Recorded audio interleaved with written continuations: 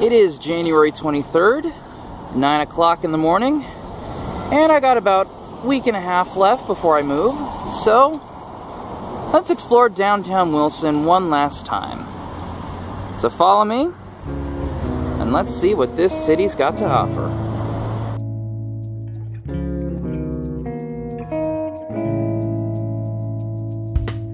First up, let's head over to the Wilson Donut Shop for some breakfast. This place has been a mainstay here in Wilson since the 50s, the perfect place to pick up a box on the way to work.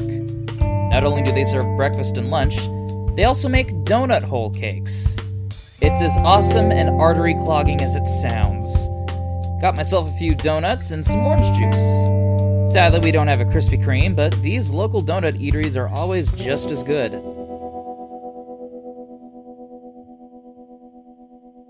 Now, this. This is one of the city's recent additions the Vollis Simpson Whirligig Park. For those unaware, whirligigs are wind powered metal sculptures that have intriguing designs. Think of them as very artsy windmills. Vollis Simpson was a World War II veteran that began making whirligigs after he retired. Eventually, the art world took notice and he began getting commissions for them. He was even contacted to build them for the Atlanta Olympics in 1996.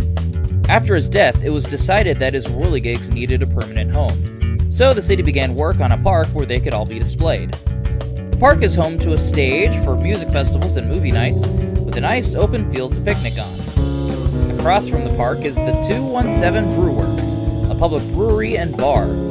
I myself don't partake in the drink, but I visited occasionally for a few events. There's even plans to turn these nearby warehouses into luxury apartments so things are really looking up for this place.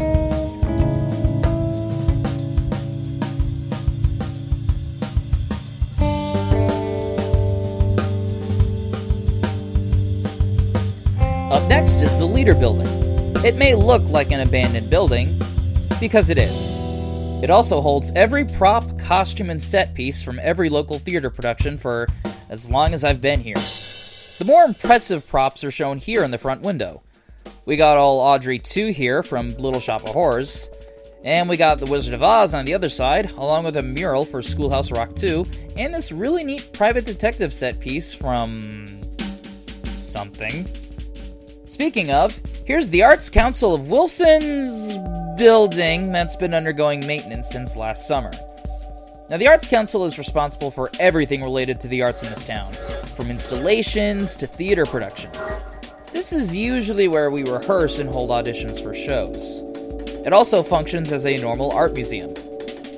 And here is where said shows happen the Edna Boykin Cultural Center. Originally a movie theater, this is where you go to see stage productions, music concerts, the occasional screening of Rocky Horror, and even some stand up comedians. There was even a short period of time in the 70s where the place was a triple X theater. I'm not kidding, you could walk up to the box office and say, one ticket for Fritz the Cat, please, and mean it. Eventually, a woman named Edna Boykin purchased the building and made it into what it is today, and we all thank her for it.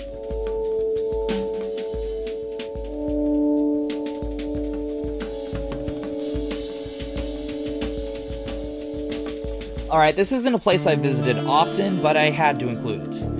This is Dance Studio B, one of the many dance studios here in town. This one in particular is responsible for most of the musicals we perform, with the owner, Miss Trish as we call her, as the choreographer. I worked with her for our production of 9 to 5.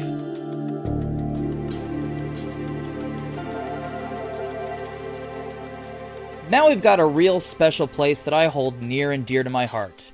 This is the Imagination Station Science Museum. This place is the main reason my family moved to Wilson in the first place. Back in 1999, my dad was offered a job here, and he held that job for a good four to five years. The place has a bunch of interactive exhibits, ranging from optical illusions, physical activities, and puzzles. The second floor has a large amount of reptiles, from turtles to snakes. I got a chance to care for them while volunteering, and it was a blast feeding them. Probably the most notable incident regarding the museum was a fire that broke out in early 2000. None of the animals survived, sadly, so while the museum was locating a temporary home, we got to house a few of the animals, including a few leopard geckos that we got to name. This isn't really a location, but I at least wanted to point this out. The Eyes on Main Street event is an art installation that spanned across all of downtown. Various photographs from all over the world were showcased on the sides of buildings, ranging from landscapes to candid moments. It's like the longest hallway of an art museum, and it was awesome.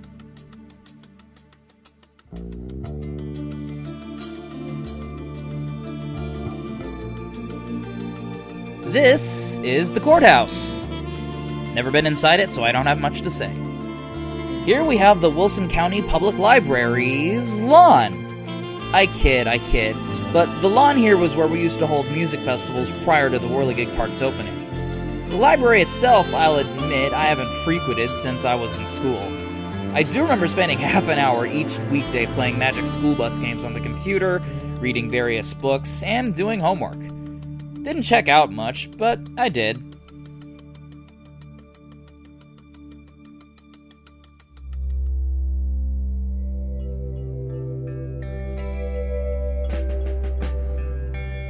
While taking a break from walking, I took this shot of the tallest building in town, the BB&T building. It's a regional bank for those that don't know. And for some reason, the lighting makes this look rather heavenly.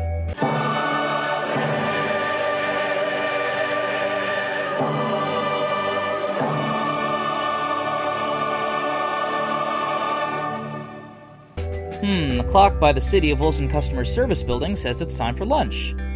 Wonder if I can issue a complaint about my hunger. Aha! Bill's Grill.